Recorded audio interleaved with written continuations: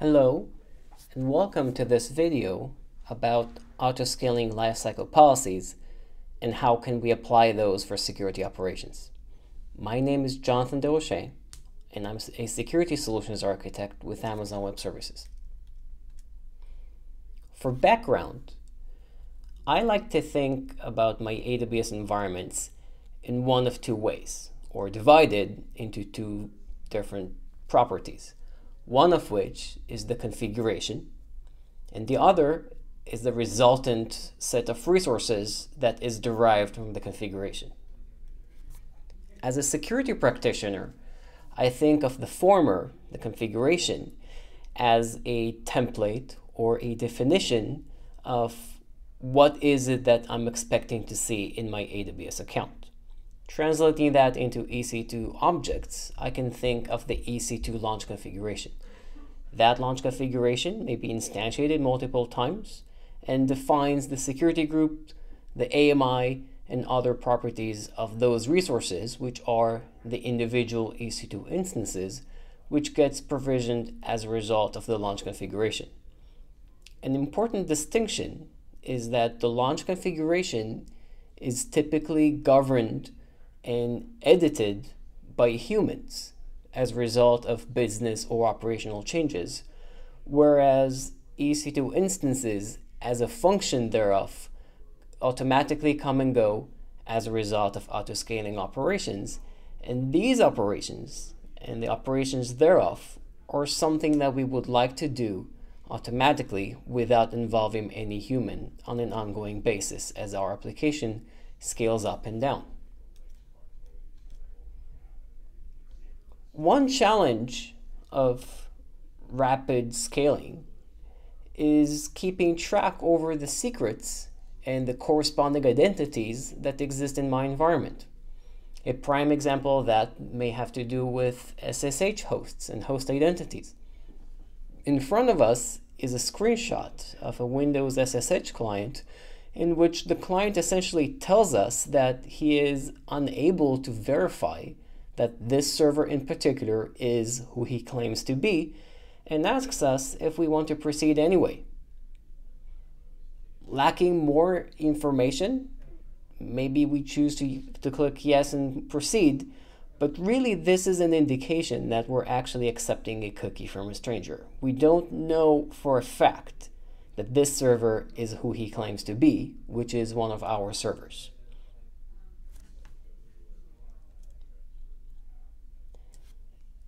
Translating this problem definition into EC2 autoscaling, Think of it as a thought experiment.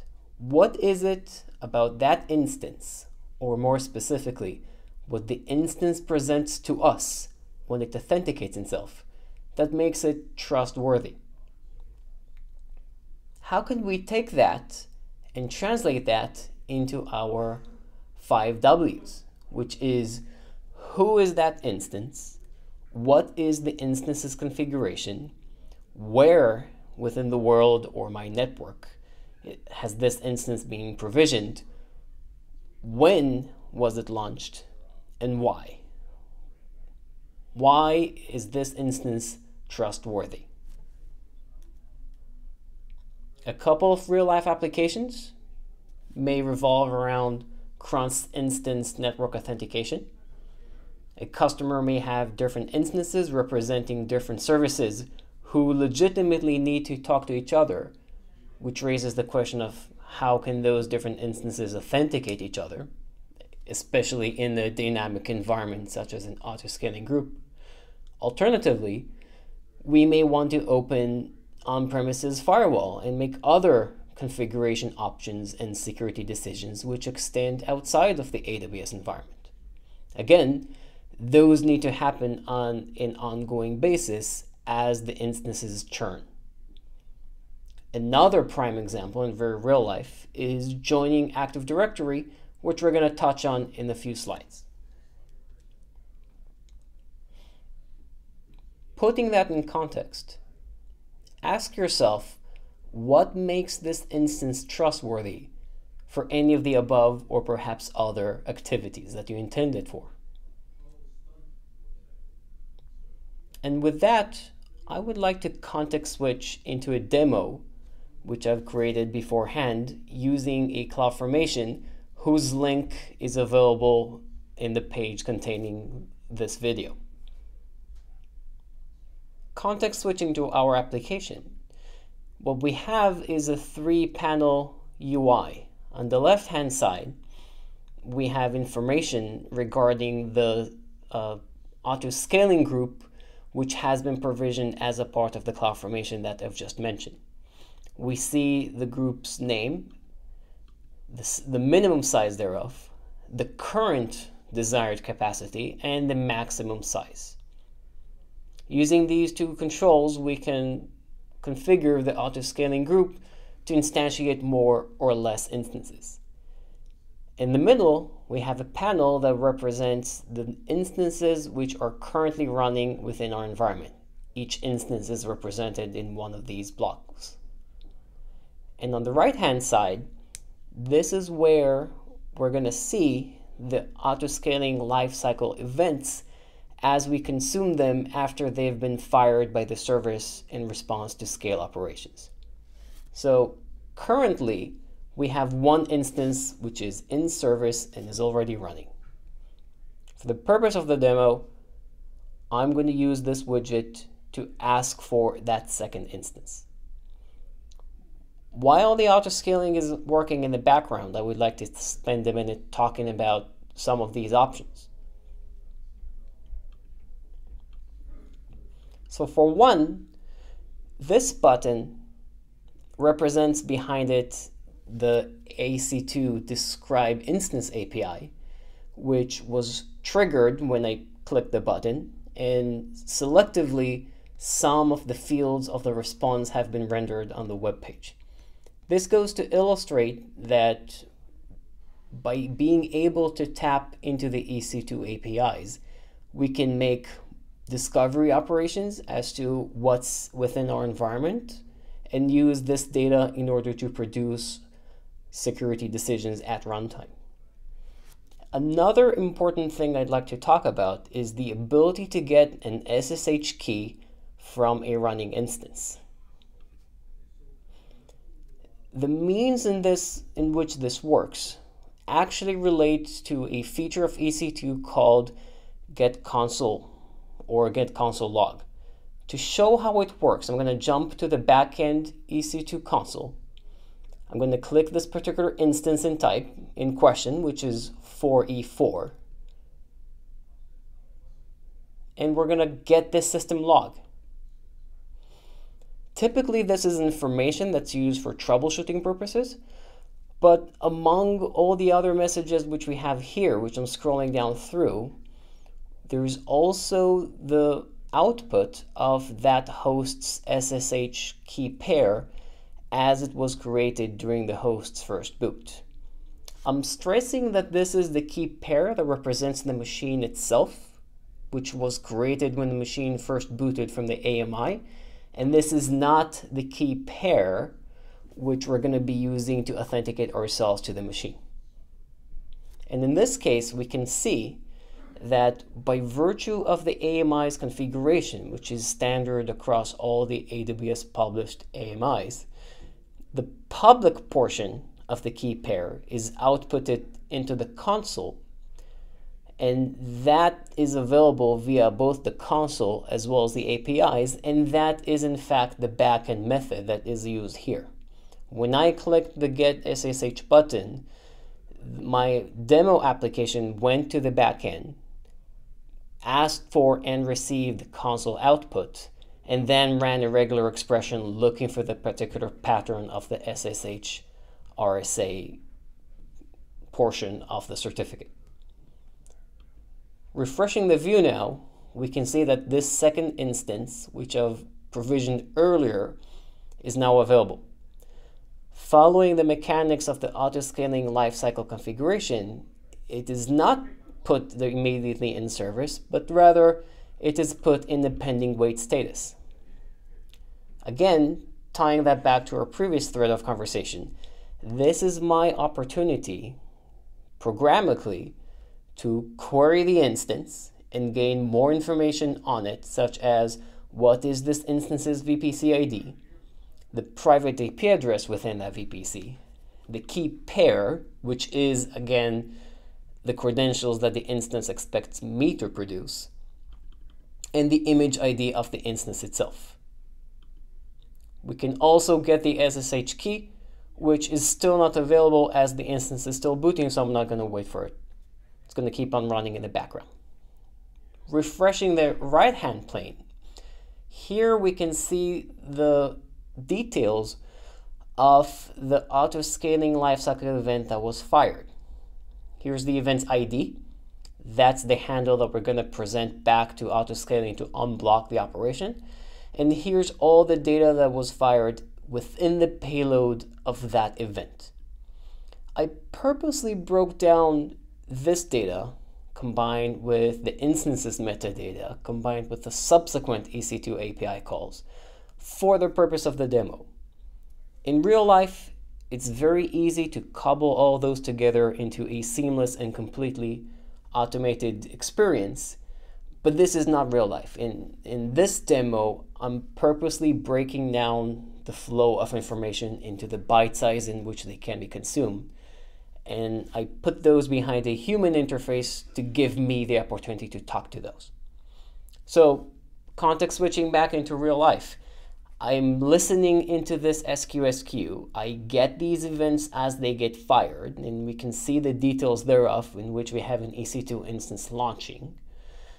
We can see the instance's ID, which gives us the opportunity to go find this particular instance, query EC2 just like we've just done over for more information for this instance, perhaps do some sort of additional querying such as um, secret exchange, such as the SSH key, this is also our opportunity perhaps to log in into these instances and, and do all sorts of configuration um, options.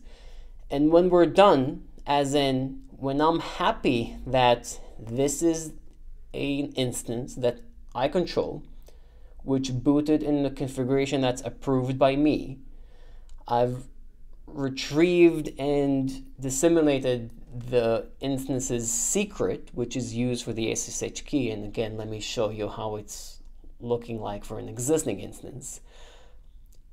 At this point, I've already paved the way for mutual authentication. I'm going to present to this instance this key pair. I'm going to validate that he presents to me this public key. And at that point, we can mutually authenticate. We can do whichever security operations we want to do. And when I'm perfectly happy with what I see, I can click this button, which in the context of our UI is going to unblock the execution and enable this instance to boot. To refresh, we can now see that this instance is in the pending proceed status.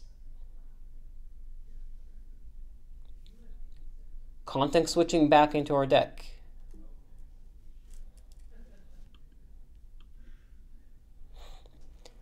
This pattern in which we have a service that listens in the backend for events which are fired and can operate perhaps at a higher level of privileges than the instances themselves which come and go, unlocks certain security patterns. For example, if we were to join new instances into an Active Directory, by virtue of decoupling the privileges of AD from the instances themselves, we can avoid having a secret, which is the AD credentials, shared across more than one instances. Operationally, we can also take advantage of that to do some housekeeping, such as removing old records as instances go, which also has security value. In this example, the first event is the auto-scaling group provisioning the instance. Then, number two, we're going to receive a message saying that this event has just occurred.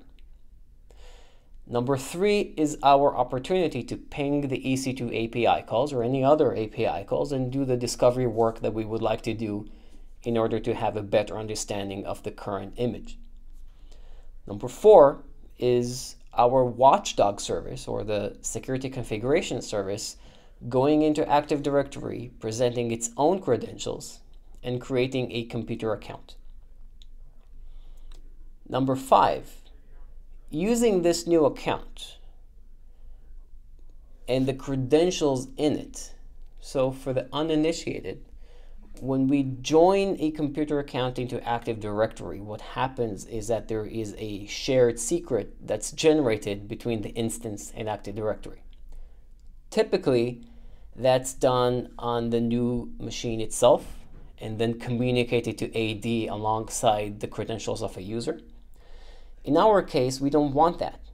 We, what we want to do is the alternative method, which Microsoft labels as offline domain join, in which the security configuration service creates the shared secret, communicates it to AD, then communicates the same secret, which is number five, to the EC2 instance, at which point, number six, the instance and Active Directory can talk to each other and authenticate each other using this shared secret as was brokered by the security configuration service. At no point has the instance received the credentials to join any machine, including itself, into the Active Directory. Rather, what it got was a slot in Active Directory represented by the machine's account and the secret, the shared secret that it uses in order to authenticate itself as the rightful owner of this one and one only slot. Moving forward in the example, number seven now, once we've initiated the computer's account and transfer the shared secret, at that point we can notify the auto-scaling group that the operation has been unblocked and it is free to proceed at which point number eight, it's going to register the instance within Autos, the elastic load balancer and work it into the production rotation.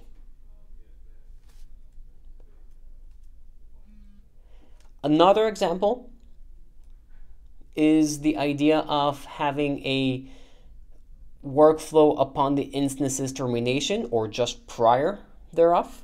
This gives us the opportunity to do a whole slew of security operations, such as intrusion detection. So for example, perhaps before terminating instances, we want to take an EBS snapshot of them and retain them for a certain time. Then, once we have a snapshot, we can restore it into a watchdog service, which we can label as a high assurance system because at no point was it serving user traffic and mount it as a secondary local drive.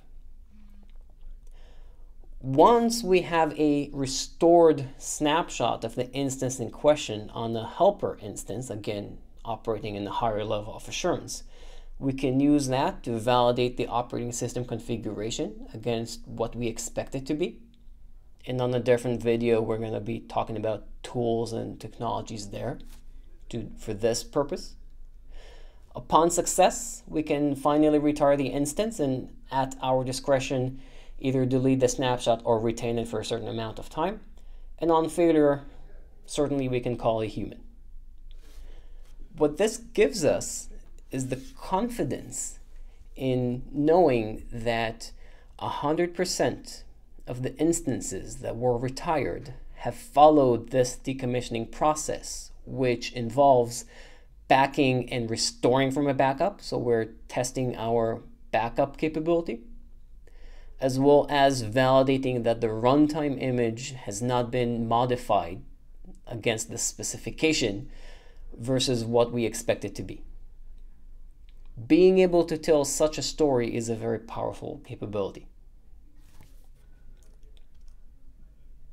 And we're done. Thank you for joining and watching the videos. We're going to have additional videos that talk about some of the additional topics that we've talked about, such as governing human configuration of the actual configurations rather than the resultant resources thereof, as well as some patterns and ideas for doing intrusion detection upon instance termination. Thank you for joining. I'm Jonathan Desrochers.